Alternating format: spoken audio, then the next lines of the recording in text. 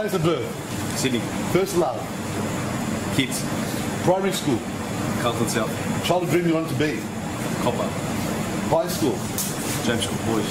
When did you start working at Hellenic Bakery? 88. In one word, how would you describe running Hellenic Patisserie?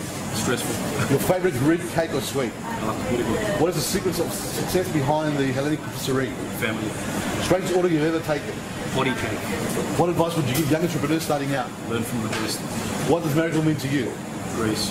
Your favourite place in the world that you visited? Kos. What has Kos got that you can't find anywhere else in the world? Lifestyle. Rugby league or football? Rugby league. Favourite NRL team? Doggies. Favourite event in the doggies history? The weekend we won the grand final, my son was born. Last film you've watched? Rambo. Uh, how do you drink your coffee? Very strong. If you change one part of your body, what would it be? Legs. What stresses you out? Work. What makes you happy? My Harley. How, who would be your deserted island companion? Halle Berry. What would you? What stresses you out? Said, okay, so, yes, sorry. Work. Come on, man. Come on, man. Dymon. I know it's more early morning, but you've been up for a while, man. Come on. Place of birth.